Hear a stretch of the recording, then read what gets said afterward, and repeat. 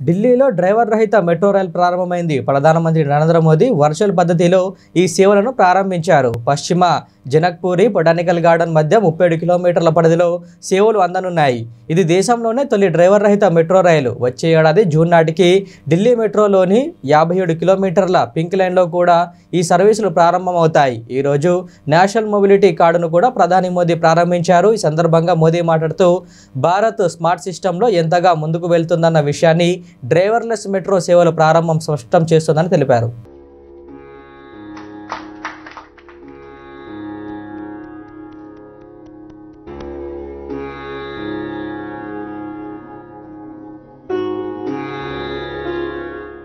Water metro पर काम किया जा रहा है। इससे शहरों को बेहतर कनेक्टिविटी के साथ ही उनके पास मौजूद द्वीपों के लोगों को लास्ट माइल कनेक्टिविटी का लाभ मिल सकेगा।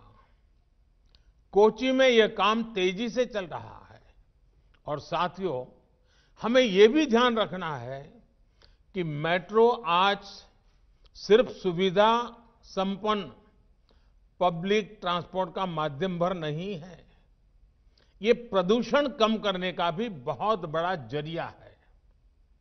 मेट्रो नेटवर्क के कारण सड़क से हज़ारों वाहन कम हुए हैं, जो प्रदूषण का और जाम का कारण बनते थे।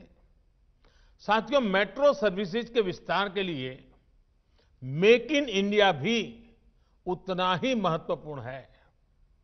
मेक इन इंडिया से लागत कम होती है, विदेशी मुद्रा बचती है और देश में ही लोगों को ज़्यादा से ज़्यादा रोज़गार मिलता है।